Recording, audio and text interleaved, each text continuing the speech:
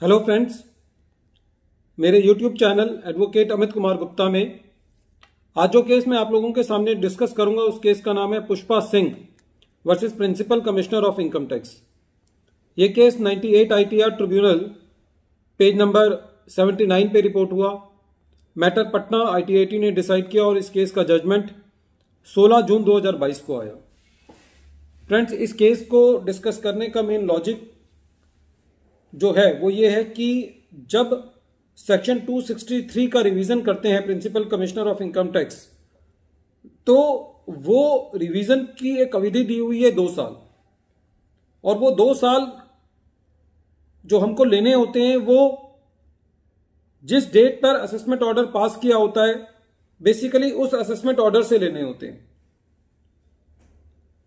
कुछ technical cases इस तरीके से होते हैं जहाँ पे एक ही साल के दो असेसमेंट ऑर्डर पास हुए होते हैं। उदाहरण के तौर पर, इस केस के अंदर एसएससी के यहाँ सर्च हुई। उसको सेक्शन 153 ए का नोटिस भेजा गया। उसकी सेक्शन 153 ए के अंदर असेसमेंट कर दी गई। बाद में उसी साल के लिए एसएससी का सेक्शन 148 में कुछ रीजंस की वजह से केस रिओपन किया गया।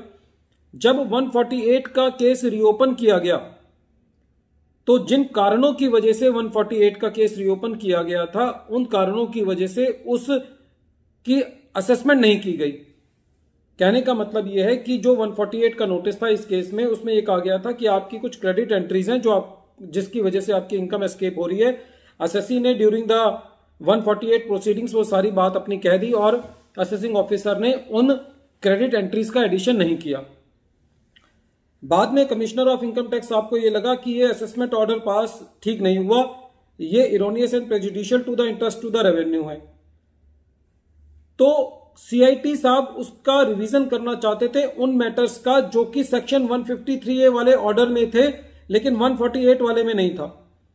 तो इस केस में यह प्रश्न उठता है कि जो दो साल हैं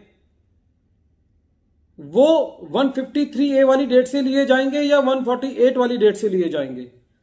तो उन मैटर्स की रिवीजन के लिए जो कि 153 ए का पार्ट है तो दो साल हमको 153 ए वाले से कैलकुलेट करने हैं।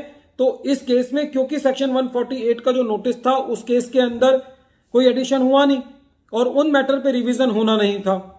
तो उन मैटर्स पे रिवीजन होना था जो कि 153 ए का पार्ट है। तो उसके दो साल यदि हम देखते हैं तो इस केस में वो टाइम बार हो चुका था। तो ये केस बहुत इंपॉर्टेंट है कि एसएससी का एक असेसमेंट ऑर्डर पास हो गया सेक्शन 153 ए के अंदर।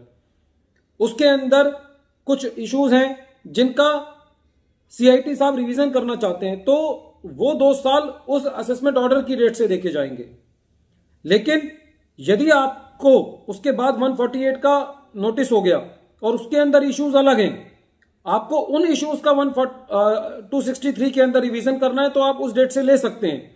क्योंकि इस केस के अंदर 148 के अंदर कोई भी एडिशन नहीं की गई थी।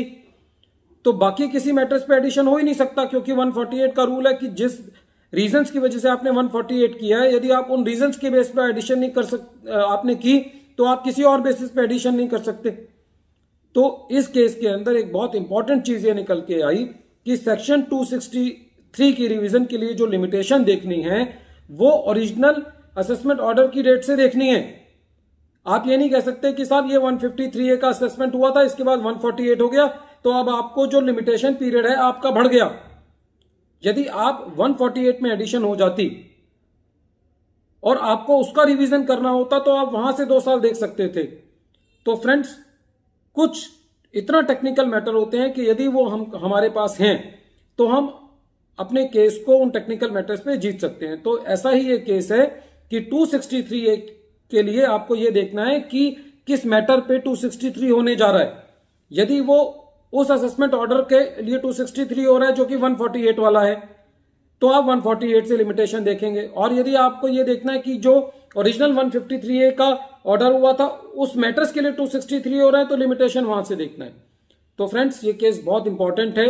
जहाँ तक की बात आती है कि 263 के लिए लिमिटेशन पीरियड जो दो साल देखना है, यदि वो कैलकुलेट करना है तो हमको कैसे देखना है, खासकर उन केसेस में जहाँ पे हमारा एक ही साल के अलग अलग तरीके से हमारी असेसमेंट हुई हुई होती है। और इस केस में एक और त्रासदी की एसएससी के लिए बात यह है कि कितनी असेसी जो है वो लिटिगेशन झेलेगा। पहले बेचारे के यहाँ सर्च हो गई, फिर उसका 153 ए में असेसमेंट हो गया, फिर उसका 148 कर दिया। अभी भी डिपार्टमेंट संतुष्ट नहीं है और उसका 263 करना चाहता है। तो कितनी बार एक एसएससी को एक अपनी फ़ाइल पे एक्सप्लेनेशन देनी पड़ेगी? ये एक एसएससी के लिए बड़ी ही विडम्बना की बात है। बहरहाल, इस केस के अंदर एसएससी को रिलीफ मिला। वीडियो के अंत में एक बार फिर मैं केस का नाम रिपीट कर रहा हूँ। केस का नाम है Pushpa Singh versus principal commissioner of income tax thank you friends